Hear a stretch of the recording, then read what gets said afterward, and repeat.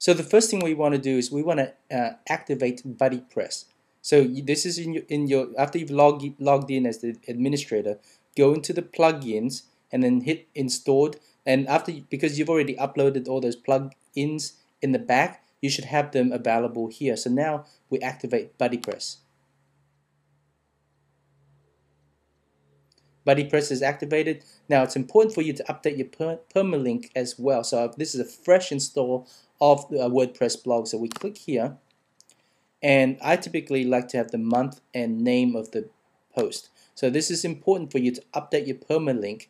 Next you want to do is you want to go in here and you want to set up your um, BuddyPress forum. So now the next thing you want to do is to just allow, allow the installation of BBPress and it's a brand new installation and it's going to um, say that you, you need to create a new file called bbconfig.php. So what you want to do is to copy this text here, right? Copy this text and then go into um, WordPad or any text editor and then save that this text into that um, text editor and then FTP upload it back into the um, WordPress directory. All right. So the other thing that's really cool about BuddyPress is your ability for you to customize fields in addition to the core fields of the uh, application that that's WordPress. You know, I can add a new field and I can ask them for their city. Where are you from? Okay. So I can even say whether it's required, what type of field it is. Hit next. I can say, you know, what your what's your favorite food, you know, who's your favorite actor, etc. I can ask all these questions and I can say whether they're required or not. It, it's it's really flexible. So now the the next thing you want to do is to activate a uh, BuddyPress compatible theme. So what you do is you go to themes, and it should have a theme already made for you and uh, you want to choose the BuddyPress theme. Uh, yeah, there's there's a couple, not many, but you, you, it's it's a start, and then you can get a web designer to customize that. Okay, so let's activate that. So it's important for you to do that. So this is the the default um, BuddyPress um, theme, and then this is what it looks like. Sorry, this is the default WordPress theme, and this is what it looks like in the um, updated theme. So the other thing I want you to keep in mind when you're doing these installs is I want you to at least have two browsers up side by side.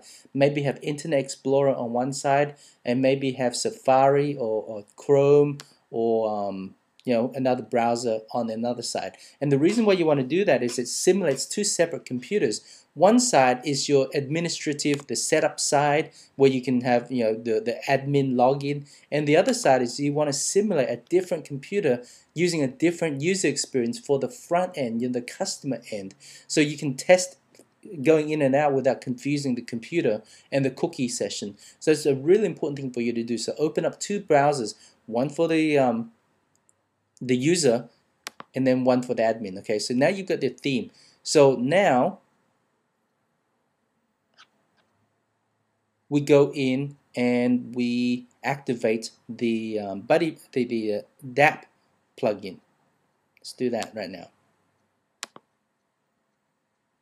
Let's activate the DAP plugin.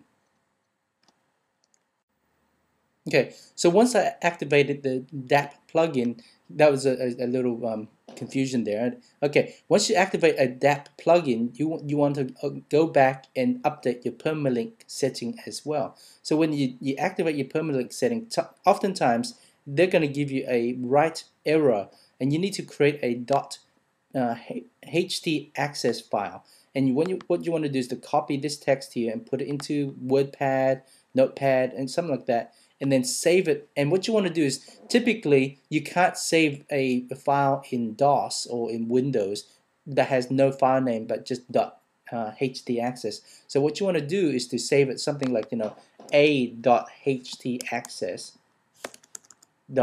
uh, like that. Okay, you want to save the file as a dot ht access. And once you have that, then this is what you would do. See, I've created these two files already um, based on, you know, I've, I've, I've done it. So now you go into the root of your BuddyPress.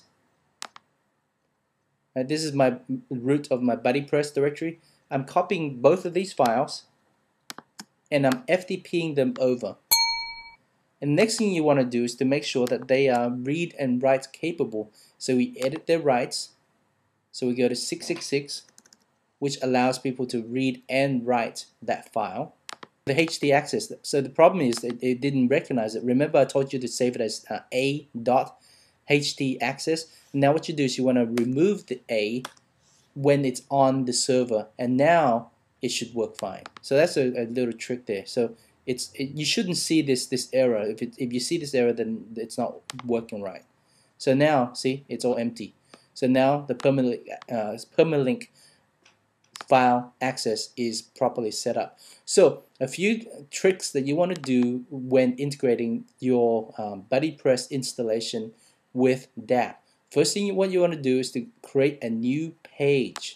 Okay, you want to add a new page and you want to call this page the welcome page.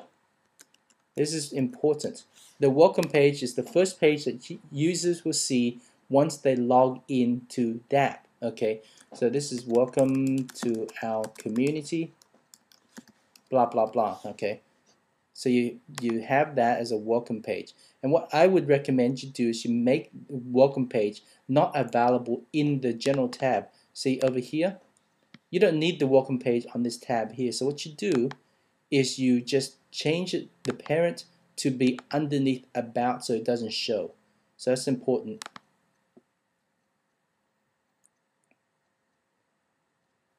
Okay, that's updated. Next, I want you to go into the um, widgets under appearance to enable the BuddyPress, um, the, the, sorry, the DAP login widget right here. You drag that over here and you save.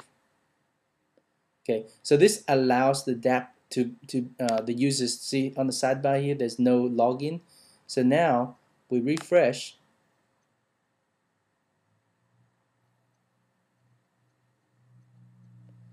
And now there is a login that that allows us to log in. So this was a previous uh, cookie, so I'm going to log out. So as you can see, this this plugin is really nice. It allows us to um, add add and remove, um, sorry, be able to log in.